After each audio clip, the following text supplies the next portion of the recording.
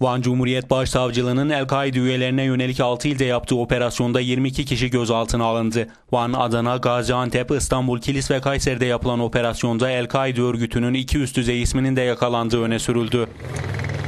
Operasyon kapsamında İnsan Hak ve Hürriyetleri İnsani Yardım Vakfı Kilis Şubesi'nde de arama yapıldı. Ofiste bulunan bazı bilgisayar ve belgelere el konulurken bir kişi de gözaltına alındı.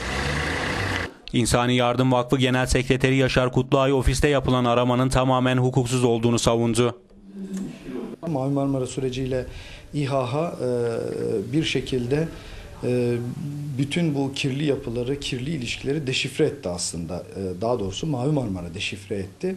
Ve o günden bu yana sürekli İHH ile ilgili bir takım iddialar öne sürerek veya işte e, dosyalar oluşturarak İHH'yı El-Kaide bağlantılı gösterip bir şekilde çalışmalarını durdurmak istiyorlar.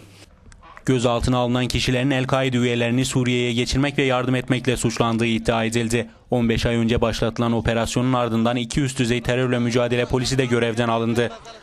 İnsani Yardım Vakfı Gazze'ye yardım götüren özgürlük filosunu organize eden kuruluşlardan biriydi. İsrail filoya müdahale ederek 9 Türk vatandaşını uluslararası sularda öldürmüştü.